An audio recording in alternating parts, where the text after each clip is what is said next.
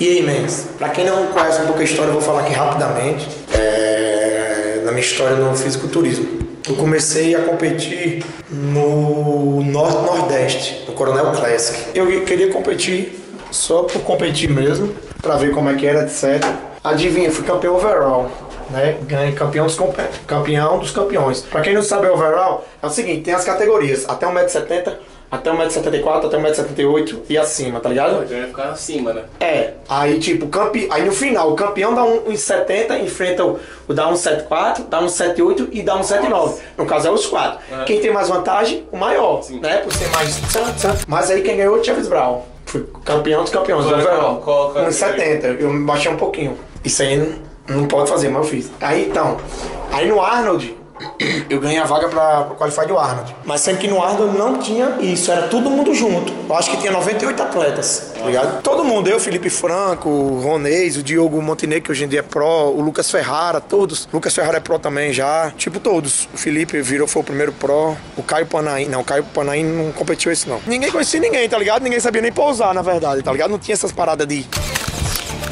Pousar não, era direita pro lado, ficava todo duro, esquerda, vai. Dos 98 passaram 15 pra voltar, aí voltou 15. Dos 15 a gente não sabia quem ia voltar. Aí eles mandaram ir pra casa, pro hotel, é isso no sábado. E quando fosse um domingo, no, à noite no hotel, à noite no hotel não, à noite eles iriam divulgar os seis finalistas da grande final, tá ligado? Aí eu tava no hotel quando divulgou a lista, cara. Eu, Felipe Franco, Diogo Montenegro, o Ronês e tem dois malucos que eu não lembro. Eu le- sei quem é, mas não, vou, não, não lembro do nome. Pronto, aí foi pra grande final. Quando a gente chegou lá na grande final, caralho, velho, aí foi massa, né? Primeiro campeonato, assim, um Arno do cara já. E eu sei que no final dividiram o título. Deram dois primeiros lugares, dividiram pra mim e pro Felipe Franco. No caso, eu fui campeão. Aí do primeiro aí, qualified do Arnold Classic aqui, em- foi em Sampa, em 2013, velho.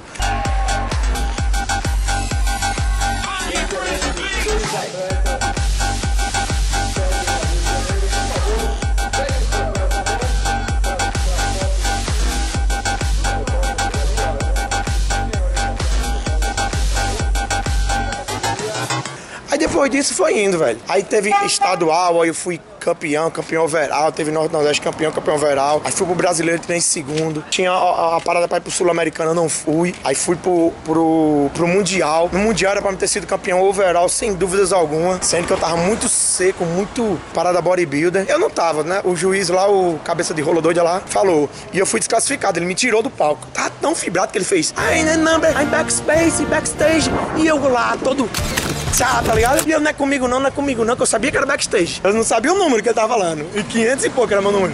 Enfim, tirei em último nesse campeonato mundial. O campeonato, o campeonato que era pra me ter sido overall, beleza. Mas por que ele te tirou? Porque eles queriam um shape franzino. Alguém que bem fitness, sem ser trincadaço. Eu tava mais trincado que eu bato, porra.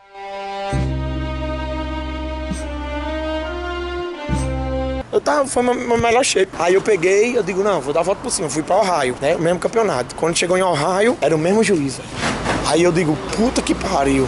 Sendo que o critério de Ohio não era um shape fitness, era um shape trincadaço. Sendo que eu tava trincadaço. Sendo que quando eu olhei pro rápido, o quê? Eu nem pousei. Fiquei paradinho, só assim, tá ligado? Nem trinquei abdômen, no fim nem pousei nem nada. Ah, tirei em sétimo lugar.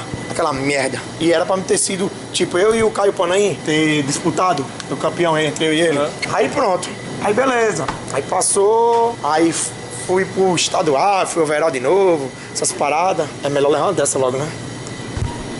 Levar logo essa água. Não, aqui não tem nada não, pai. Aí, enfim, eu sei que eu ganhei a vaga pra Olímpia. Aí fui morar no Rio de Janeiro, fiquei morando no Rio. E quando passagem comprada, tudo comprado, tudo certo. Quando faltava uma semana, fui reservar o hotel. Minha inscrição no campeonato era em Libra. Resumindo, não deu. Tava 7,20 a, a Libra na época. Aí, tipo, eu tinha falado pra mim mesmo que, tipo, esse campeonato sempre que bancou tudo foi meu pai, tá ligado? Eu consegui até o final, morar tudo no Rio, tudo sem pedir nada ao meu pai. E quando teve isso, eu fiz, cara, não vou pedir. Meu pai tá morrendo de trabalhar e tal, pra mim ficar viajando, tá ligado? Viajando pro Canadá, pro Ohio, pro ca- puta que pariu, meu pai ralando, eu digo, não, não vou. Aí não, vi, não, não viajei, resolvi não viajar. Aí pronto, foi quando eu decidi parar de competir. Aí depois de dois anos, hoje em dia, estamos aí fazendo vlogs, contando um pouco da história, mostrando como é que é a rotina bodybuilder. Eu entendo bastante de dieta, treino, já fui personal, já fui tudo. E é isso, beleza? Entendeu mais ou menos? Deu pra entender, explicar legal? Então é isso, galera. Tamo aí, não tamo fibradaço, mas tamo o quê? Segura aí pra puxar a pele. Mas tamo o quê? Percentual de gordura sempre o quê? Tchugueirado? Together e vamos comprar a parada que falta aqui. Qual é o nome? Eu não sei não. Esqueci. Nem eu.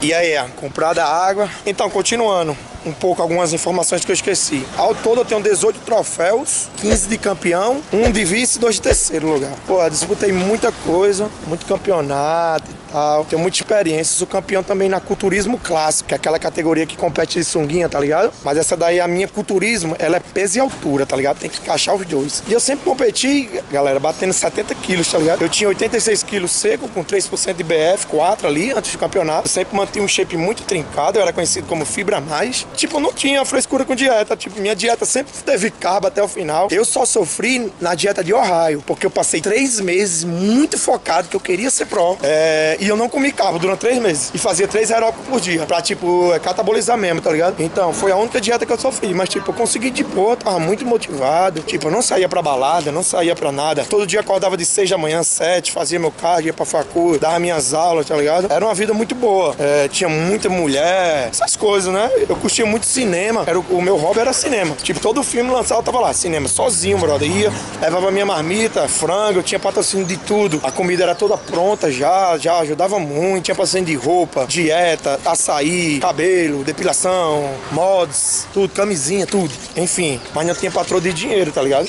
Por isso que as viagens era o papai que bancava tudo. Enfim, mais ou menos isso, galera. E vou mostrar pra vocês como é a vida de um, um bodybuilder sem competir. Tipo, bodybuilder é levar o lifestyle, tá ligado? Treinar, dieta, essas paradas. E eu vou mostrar pra vocês mais ou menos como é que é.